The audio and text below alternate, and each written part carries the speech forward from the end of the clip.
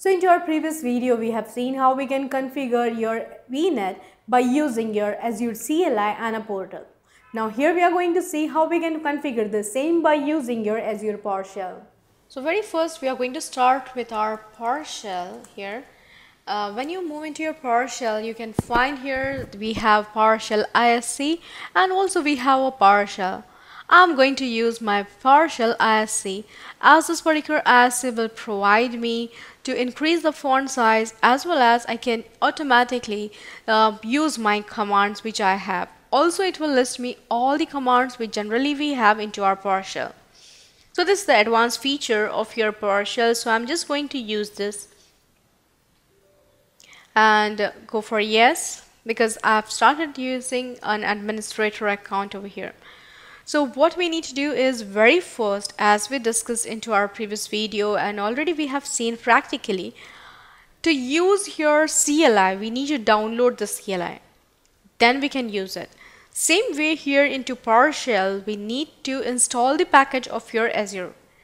And again if I'm talking about this installing the package generally you have two different package for your Azure that is your Azure RM and your Azure. Now what is the difference between your Azure RM and Azure? Azure is the old package for your old classic version of your Azure.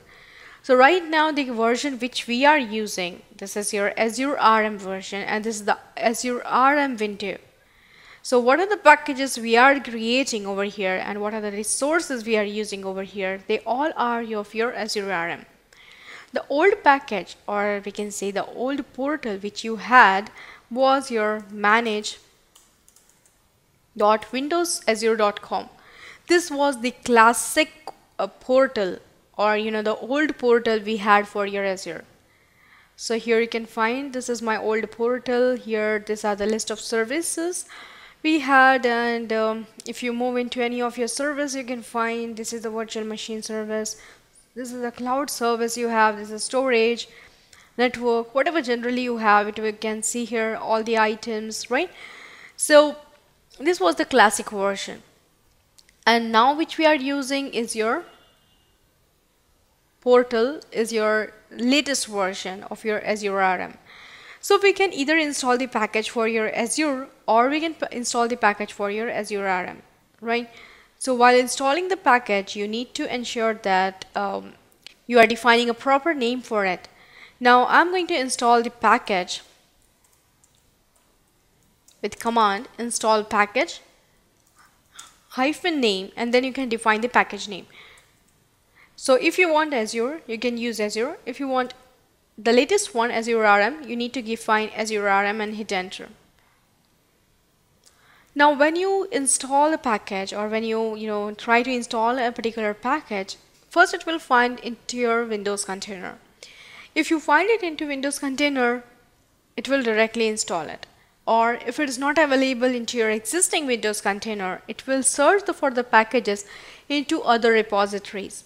Right now you can see it is searching for the package in other repositories where uh, generally you have a new repository or the you know third-party repository as NuGet which is by default installed into my system. If it is not there, it will ask you to install that NuGet first if you install that particular NuGet it install a repository into your system with name PS Gallery. So it's showing you this PS Gallery has this particular software installed.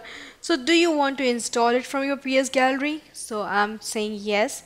So now it will install my package from your PS Gallery of your uh, repository which is created and which is installed by your NuGet. So you can see here it is installing our Azure RM. So it has been completed. The Azure RM version is 5.0.1.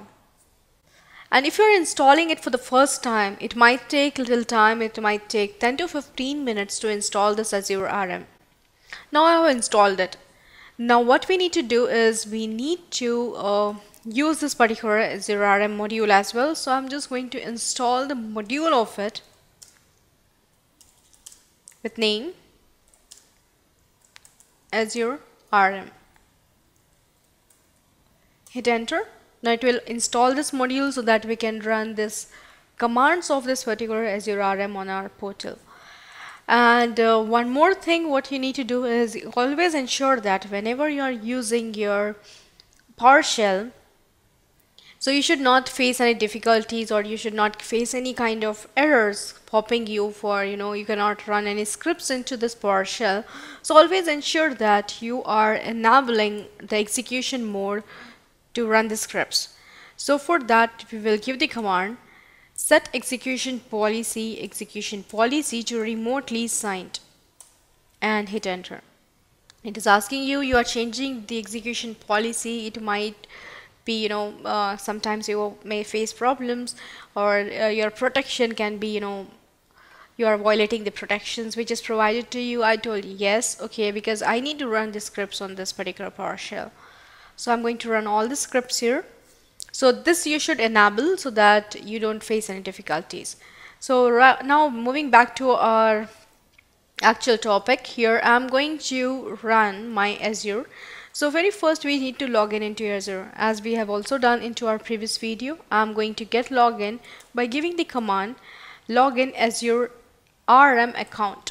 Okay, so this is your Azure account, the old classic version. This is your RM version. I want to get login into my RM account. Hit enter.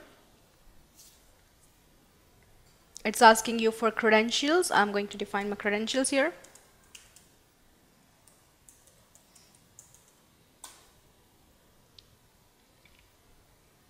On the password? Hit enter. So now you can see we are logged in here. It is showing you the complete detail of your Azure cloud. Means you are logged in. Now we'll start with our practical where I'm going to create a new resource group that is RG3 so recently we have created a group into our previous video that is RG2 I'm going to add one more using my PowerShell so for creating a new resource group, I'm going to create a new resource group into your Azure RM. So always the command will be starting from Azure RM. New Azure RM resource group we have.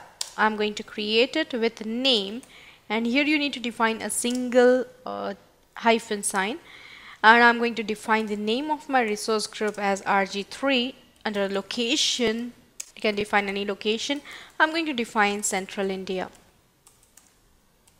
Or we can define East US itself. Hit enter. Now you can see it is showing you the provisioning status as succeeded. And you can see here uh, once I refresh it you will be finding RG3 over here. Now same way I want to create a virtual network into it so for that again we'll be back to your portal. And here I'm going to give the command new Azure RM your virtual network.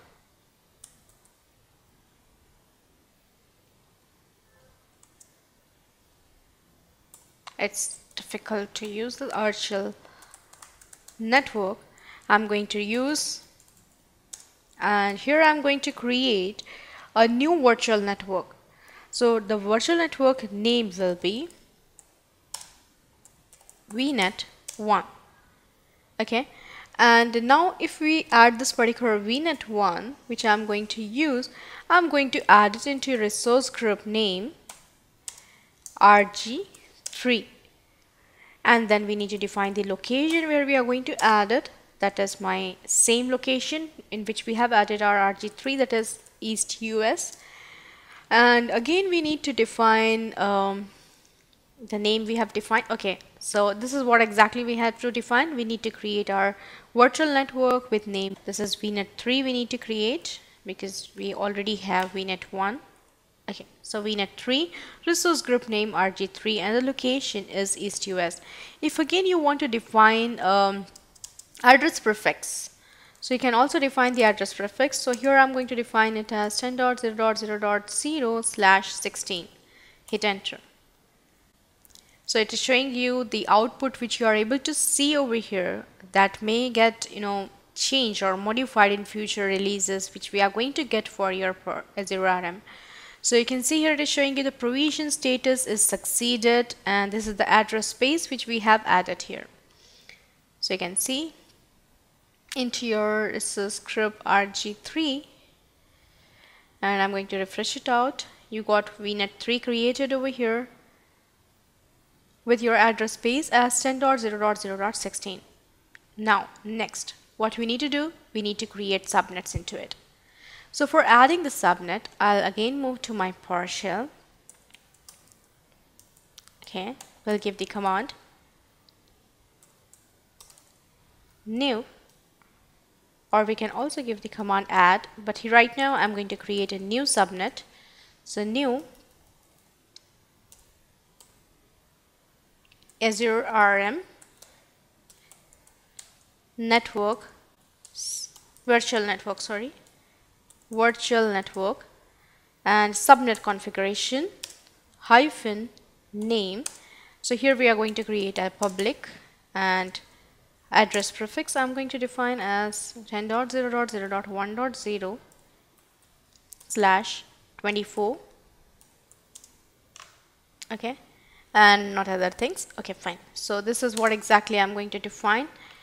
And if I want to define my uh, virtual network as well here so okay so I'm going to create this particular public network. And I want to add this public network which we have created into our virtual network which we had.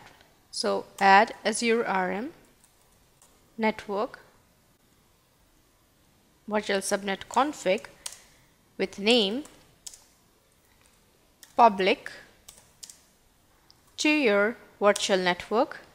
That is we have created vnet 3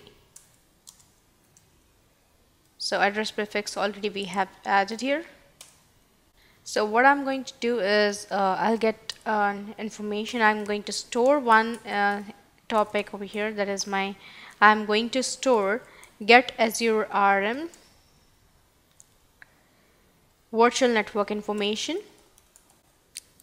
of your VNet 3 of your resource group RG3 over here. And I'm going to store it into a variable vnet1 okay? Or vnet2 whatever you require. Hit enter. Now I'm going to use the same command but in spite of giving vnet3 I'm going to use vnet2 hit enter. So it's asking you for the prefix for it. I'm going to add the prefix. 1.0 slash 24 hit enter. And you can see the subnet has been added as a public subnet into your portal. Let us check. I'm going to move into RG3 refresh it out over here. Move into VNet 3 we are going to move into subnets. Just we need to refresh it out. Again I'm going to refresh the same. And uh, again we'll be moving back to our VNet. Okay. Into VNet I'll be moving into my subnets. And you can see the subnet has been created with 10.0.1.0 which is the range we have provided over here. Right? And now I'm going to create one more. If you want to add the same again the same thing you are going to do I'm going to clear out the screen here. I'm just going to use a private network. And here I'm going to use it as private. Vnet 2 okay I'm going to add it. Prefix I'm going to define as 2.0 slash 24 hit enter. And you can see the second one is again added. Let us move back to our portal here. And I'm going to refresh it out move back to your virtual network. Resource group. RG3 and I'm going to refresh the same. VNet 3 into VNet 3 I'll move into my subnets. And here you can see the private is again created. So this is how generally we have seen how we can use your PowerShell and how we can install uh, you know Azure RM into your PowerShell get login into it and create your virtual network So same way we can manage our other services as well by using this PowerShell as well as CLI mode. So depending upon the interface which you want to you know use like your CLI or PowerShell or Portal, you can use this interface and manage your Azure resources.